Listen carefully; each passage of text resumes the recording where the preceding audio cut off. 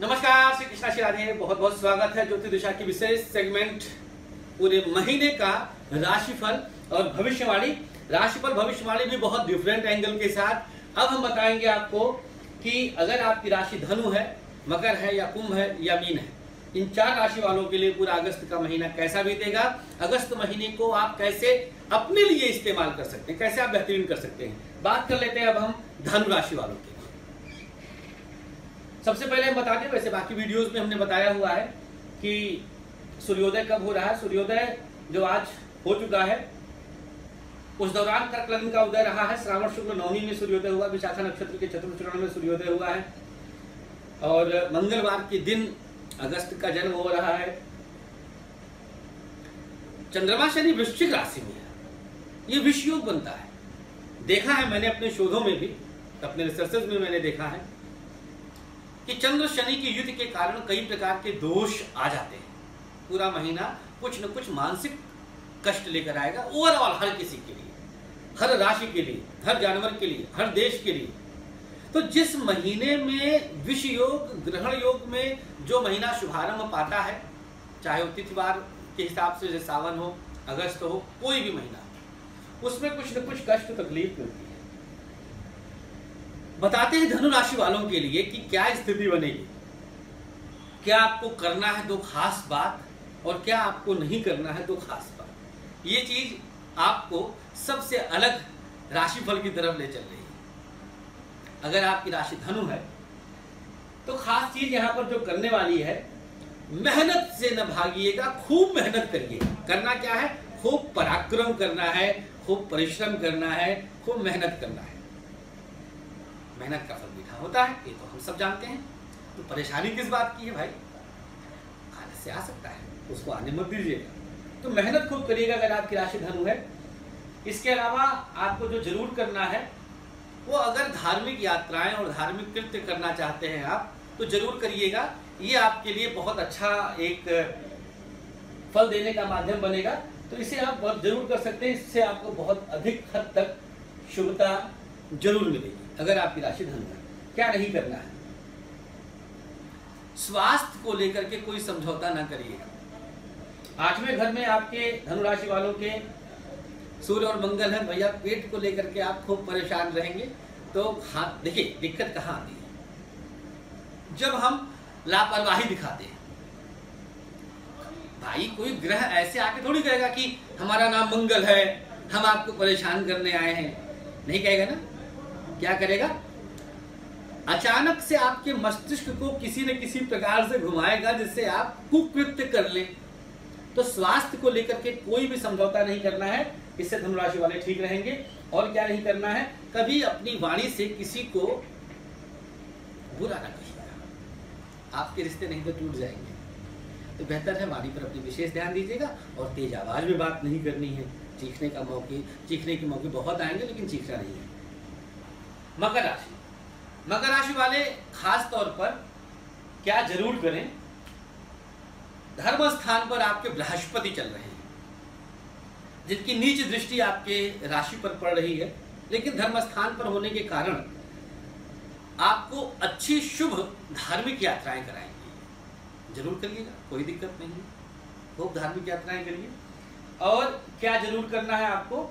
आमदनी के नए नए सोर्सेस जनरेट करने हैं, क्योंकि शनि आपकी राशि के स्वामी होकर के वृश्चिक में चल रहे हैं, वो भी पच्चीस अगस्त तक अभी रहेंगे, वक्री भले हैं।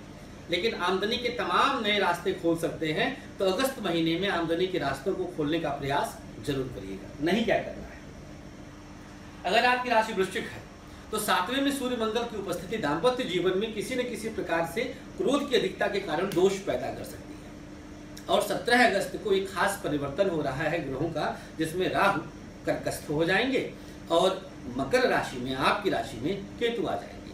तो क्रोध की अधिकता को त्याग दीजिएगा पति पत्नी के मध्य रिश्तों को मधुर बनाने का प्रयास करिएगा।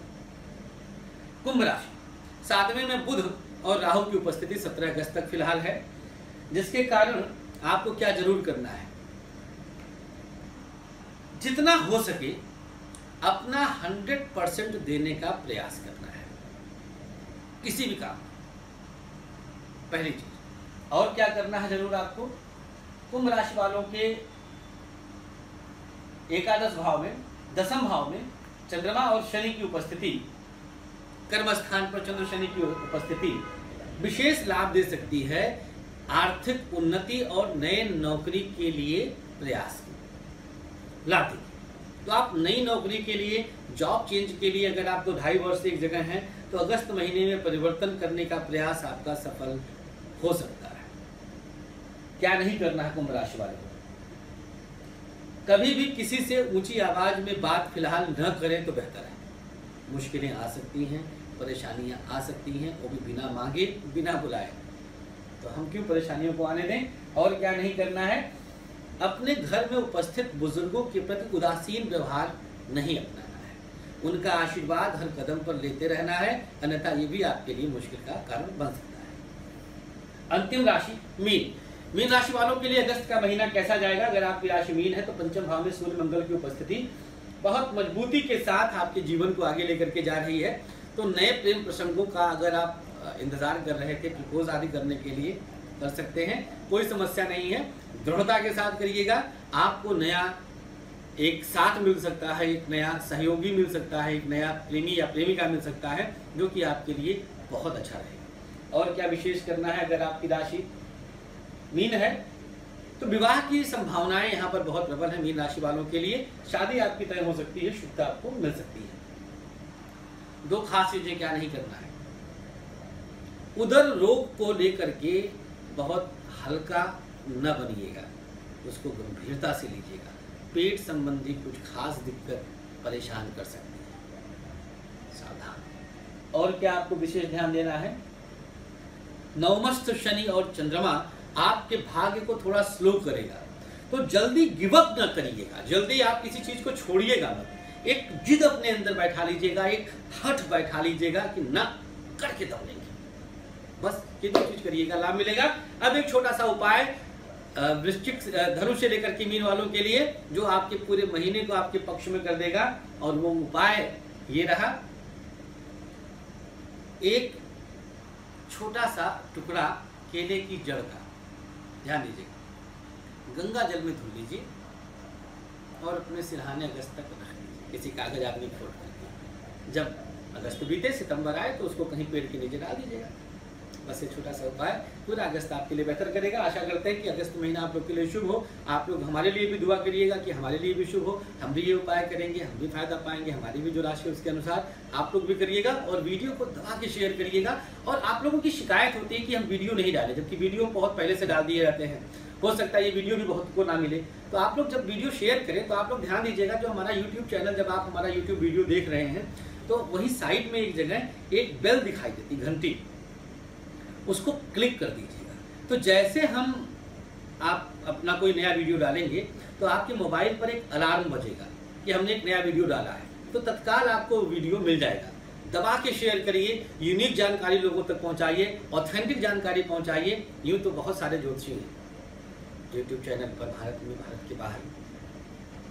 हमारा एक ही प्रयास रहता है, और वो प्रयास है कि हम सबसे अलग कैसे करें। उसी प्रयास को हम आप सबके समक्ष उपस्थित करते हैं। आप अपनी राय भी दे सकते हैं, आपके कमेंट्स हम पढ़ते हैं प्रॉपर पढ़ते हैं रिप्लाई करते हैं, जितना हो सकता है। आज भी पढ़ेंगे हम तो कोशिश आप लोगों की जारी रहे, हमारा साथ, आपका साथ नहीं बना रहे। इसी उम्मीद के साथ, फ़िलहाल हमें अनुमति दीजिएगा। मस्त रहिए, प्रसन्न रहिए सिरा